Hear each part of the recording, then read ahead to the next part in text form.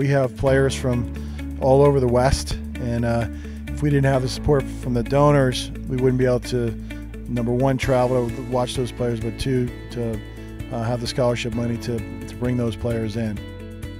Last four years, we've had you know 10 win seasons. That's the first team since 2000, 2003 in the Big Sky that's done that. And I think that's a direct, a direct correlation with the, the kind of support that we get from the donors it pushes you. I mean, it, it, you see people out there cheering for you, cheering for your team. It, it only makes you want to work harder and, and you know, get some goals, some some nice goals, um, some good passes, and all that kind of stuff. It's exciting. It's really fun. I think there's a, a lot for everybody here. Being a medium-sized university, there's a lot of different options, but it's a it's kind of has a, a smaller school feel.